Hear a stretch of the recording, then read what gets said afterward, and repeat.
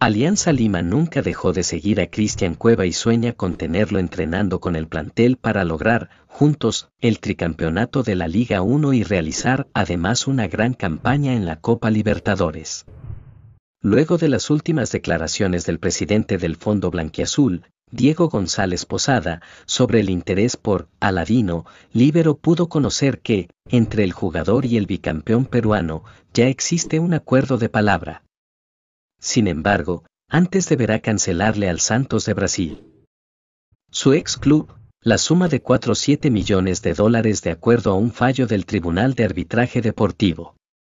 Una vez que se haga efectivo el pago, el 10 podrá firmar por Alianza Lima. Cueva es una opción en Alianza Lima. Primero tenemos que ver cómo soluciona el tema con Santos y ya hemos conversado con él.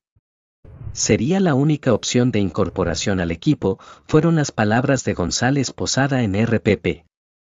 Lo cierto es que entre Cuevite y el conjunto íntimo ya existe un acuerdo de palabra.